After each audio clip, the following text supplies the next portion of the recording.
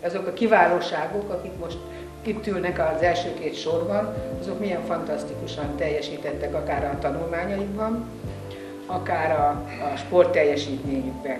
Mert tette hozzá köszöntőjében a Perszor Ágnes polgármester, sokan mondják, hogy a részvétel a fontos, ami persze igaz, de azért nyerni és kimagaslót alkotni, akár a sportban, akár a tanulásban, mégiscsak más, mégiscsak különlegesebb. Nos, azok, akik meghívást kaptak a díjátadóra, ezt pontosan tudják a saját tapasztalataik alapján. Megérezték már a győzelem ízét többen nemzetközi szinten is, és megtapasztalták saját bőrükön is, hogy a sikert nem adják olcsón.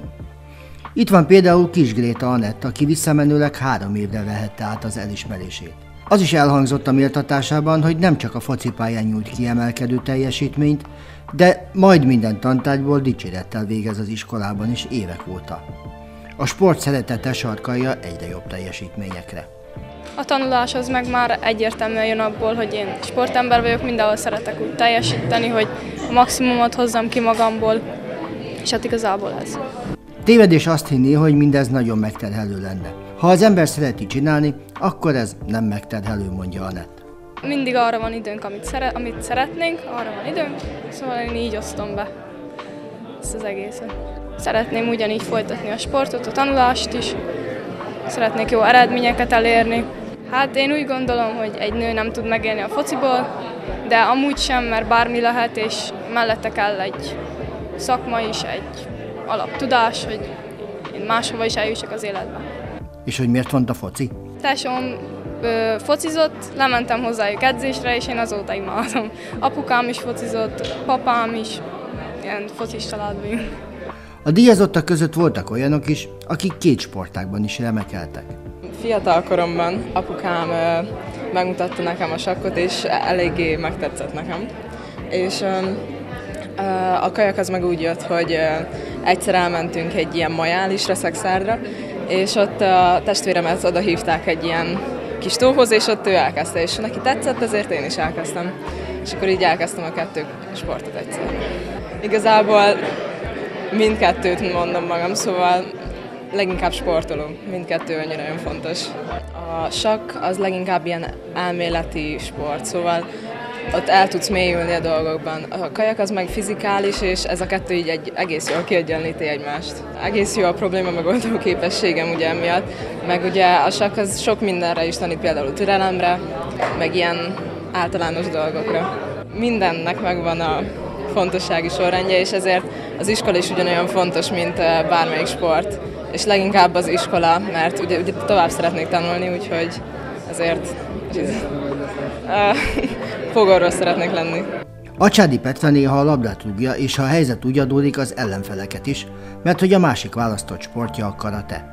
Nem mellesleg a 2021-22-es tanévben tanulmányi átlaga kitűnő volt, 10 tantárgyból kapott dicséretet. Igazából a két sportot már kiskorom óta űzöm, és igazából ilyen napi rendemé vált, hogy egyik nap ide megyek, másik nap pedig oda. Karatéban a fegyelmet, a tiszteletet tanuljuk, és ezt a focipályára is fel tudom vinni. Mindig, amikor hazérek az iskolából, akkor tanulok, elmegyek edzésre, és utána megint tanulok. Igazából szerintem, aki ezt már benne van ebbe az életbe, az ezt természetesnek veszi. És hogy mi hajtja? Igazából ezt még én sem tudom. Így a, szeretem ezeket a sportokat csinálni, a társaságot is nagyon szeretem, úgyhogy így ez. Vig Vivien a Tolnai Szent István Katolikus Gimnázium tanulója, a Szexádi Sport Egyesület sportolója. A 21-22-es tanévben 8 tantárgyból kapott dicséretet.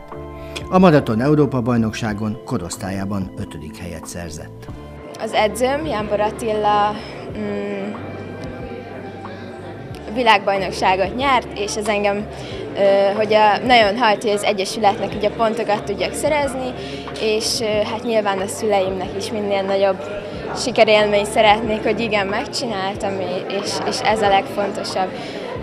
A sport ez egy jó dolog, kicsit hajtani kell érte, de minden, minden elérhető, amit az ember igazán akar.